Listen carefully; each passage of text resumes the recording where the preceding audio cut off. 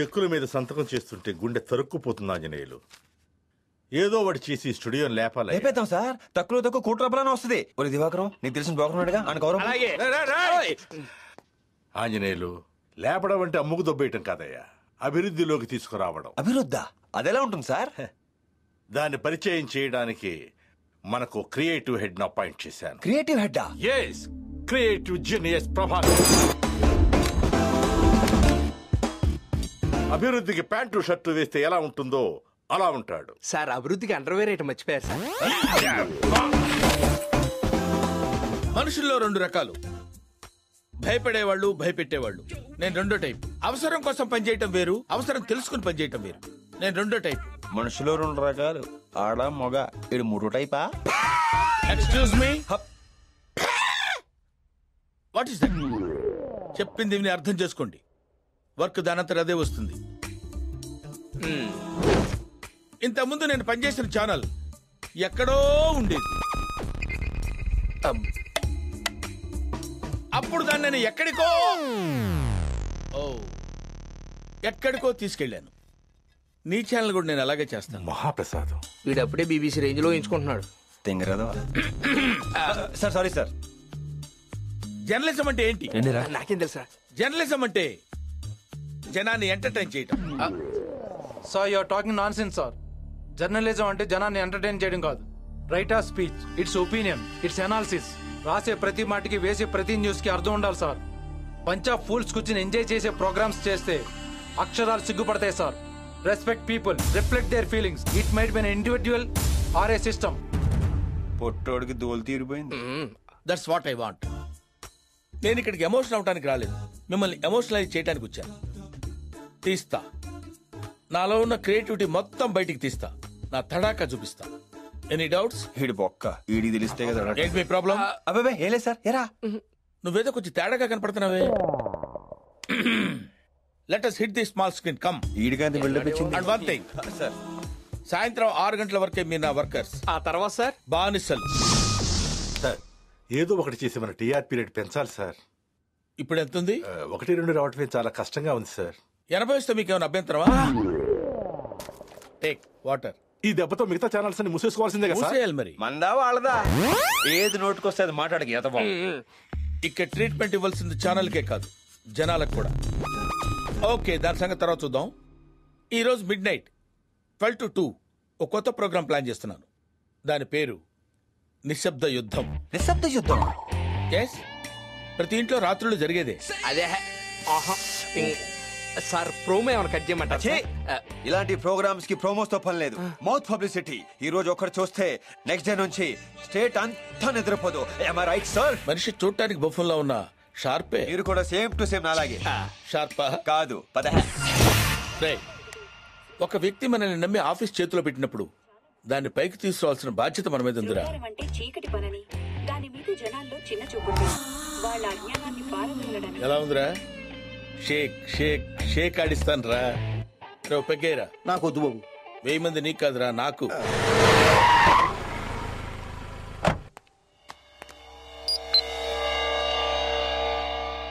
ఆ. బోస్ సీఎం ని కలవడానికి అపాయింట్మెంట్ తీసుకున్నాడు.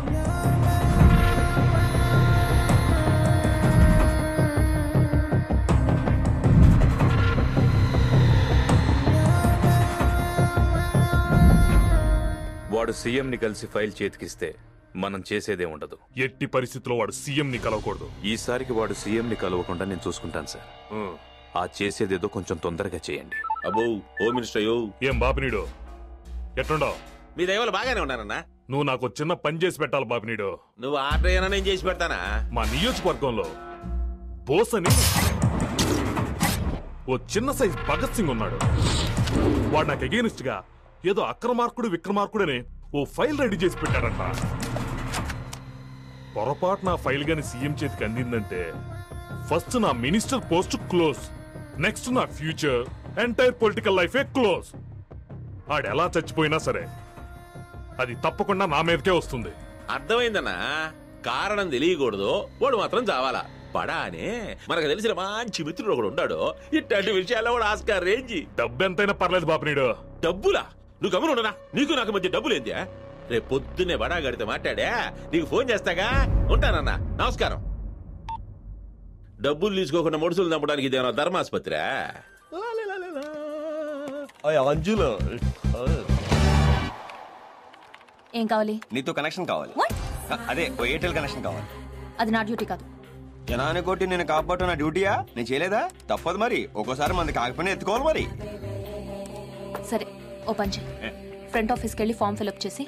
రెండు ఫోటోలు ఐడి ప్రూఫ్ ఇచ్చేయి. ఆ ఏమి నాకు తెలీదు. నాకు తెలిసింది నువ్వు ఒకదానివే. ఏం చేసినా నువ్వే చేయాలి. అసలు ఎందుకు వచ్చావు. అదృష్టం ఒకసారి తలుపు తడుతుంది. ఈ ఆంజనేయ తలుపు తీసేదాకా బాత్తానే ఉంటాడు. అర్థం కాలేదా? నేను వచ్చింది ఫోన్ కనెక్షన్ కాదు. మన కనెక్షన్ పర్మనెంట్ చేద్దామనే. ఏదో వచ్చి మన కనెక్షన్ ఏంటి? అన్ని తెలిసి కొండి కొడతా. Mental film don't act smart security hello బాబు ఏంటి ఇక్కడ న్యూసెన్స్? ఏంటా కూర్చోడం ఏంటి? ఇల్లు అనుకున్నావా ఆఫీస్ అనుకున్నావా? ఒరే నరసింహలో నువ్వు డ్యూటీ ముగించుకొని ఇంటికి వెళ్తుంటే గుర్తు తెలియని ఒక వ్యక్తి నిన్ను పచ్చ పచ్చ పచ్చ అని కత్తిచ్చి పొడి చేస్తే నువ్వేం చేస్తావు? ఏ వన్ నాట్ ఎయిట్కి ఫోన్ చేస్తావా? బి పోలీస్ స్టేషన్ కంప్లైంట్ ఇస్తావా? సి హాస్పిటల్ జాయిన్ అయిపోతావా? ఏం చేస్తావు? డి పైవేవి కావు. ఏంటి బెదిరిస్తున్నావా? నేనా మిమ్మల్ని బెదిరించింది? మీరు కాదు సెక్యూరిటీ నా మీద దూసుకెళ్ళింది అయినా మిమ్మల్ని ఏమడిగాను సినిమాకి రమ్మన్నానా? లాడ్జికి రమ్మన్నానా? ఖర్చులుగా డబ్బులు లేవని డబ్బులు అడిగానా? ఏదో బాగా తెలిసిన వ్యక్తిని చుట్టూ చూపు చూసి వెళ్దామని వస్తే రౌడీజం చేస్తారా? ఇదేనా మీరు అతిథికి ఇచ్చే గౌరవం? అదే నేను తాళి కట్టిన భర్తనై ఉంటే మీరు ఎలా చేస్తారా? ఎవరు ఏమీ మాట్లాడేంటండి ఈ సమాజం బాబు? కూర్చో. యాంగిల్ సెట్ చేసుకుంటాను. అబ్బా. అసలు ఏం కావాలి నీకు? జాతకం. జాతకమా? ఎస్ నీకు నాకు కరెక్ట్గా ఉందో లేదో అని నీకు కుజు దోషాలు లాంటివి ఏమైనా ఉన్నాయో అని జాతకం పంపించమన్నారు నాన్నగారు. ఏయ్ ఏంటి పిచ్చి పిచ్చిగా ఉందా. ఏంటండి? ఆ ఏంటంట? మాకు సెల్ఫ్ సస్పెక్ట్ ఉంటుంది. సస్పెక్ట్ కాదు రెస్పెక్ట్ అదే అది లేదనుకుంటున్నావా? నీకెంత ఉంటే నాకెంత ఉండాలి ఏదో పెళ్ళి చేసుకుని పొందుగ్గా చూసుకుందాం అనుకున్నాను. నీకు యోగం లేనట్టుంది. చేతికి అందిన కూడిని కాలు దగ్గరికి వచ్చిన ముగ్గుని కాదనుకుంటే సంకనాకి పోతావు జోక్ అనుకుంటున్నావా? చాలా సీరియస్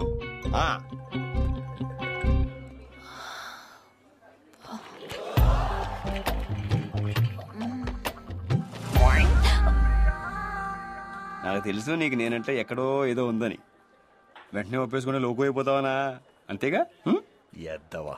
దవడమే కొట్టగలను ఎద్దవా ఎద్దవ మళ్ళీ వస్తానే? వదమ్మా సహస్రమూర్తే సహస్రపాదాక్షిశిరోర్వాహవే. సహస్రనామ్నే పురుషాయ శాశ్వతే సహస్రకోటి జగధారి పిండ ప్రదానంత కరిష్యే. అయ్యా కార్యక్రమం పూర్తయింది.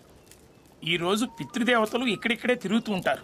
మీరు వారితో ఏదన్నా మాట్లాడాలంటే మాట్లాడుకోవచ్చు. మంత్రాలు వింటున్నాను కదా అని నువ్వు ఏం చెప్పినా వింటాను అనుకోకు. కానీ అన్నం చూస్తుంటే మా అయ్య కూడా ఇట్లా చేయాలని ఉందన్న. వాళ్ళ అయ్య ఎయిడ్స్ వచ్చాడు. మీ అయ్య ఎయిడ్స్ వచ్చి వచ్చాడు. మూసుకొని చూడు. ఏందబ్బయో ఏంది సిటీ వదిలేసి చెరువు గట్లప్పుడు తిరుగుతా ఉంటారా ఇలా అన్నోనా నాయన చచ్చిపోయిన రోజు కదా ఆడు చచ్చాడా ఈడే చంపేశాడా? వెళ్ళి అడుగు. రైస్ రెడీగా ఉంది. నీకు కూడా రెండు ముద్దలు కలిపి పెట్టేస్తాడు. వద్దులే.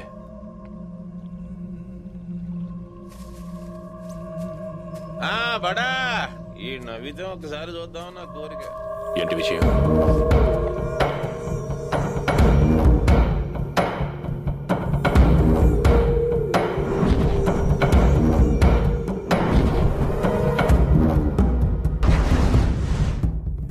డీల్ ఎంత నీ ఇష్టం. నువ్వెంత చెప్తే అంత. Fifty CR. అట్నే.